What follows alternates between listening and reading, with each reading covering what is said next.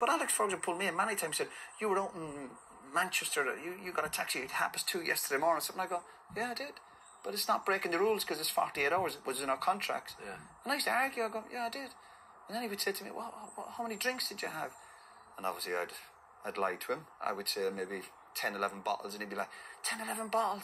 What are you thinking? I'm thinking, if I told him the truth, that was every hour, you know? So it's just, so you kind of tell the odd white lie as you go along, obviously.